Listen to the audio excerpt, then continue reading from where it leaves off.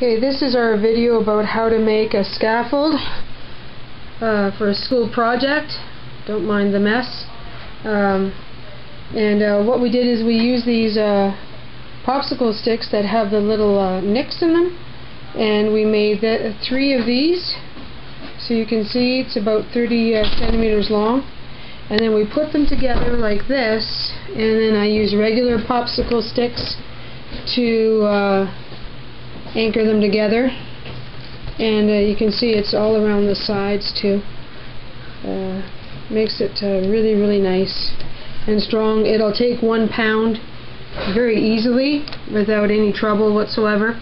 We also uh, made a ladder using these uh, long popsicle sticks here and we just cut them.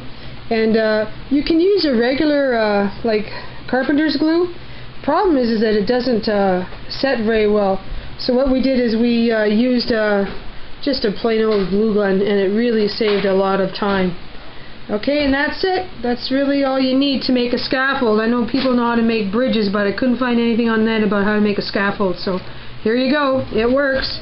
It can take a lot of weight, and my daughter's really happy. Bye.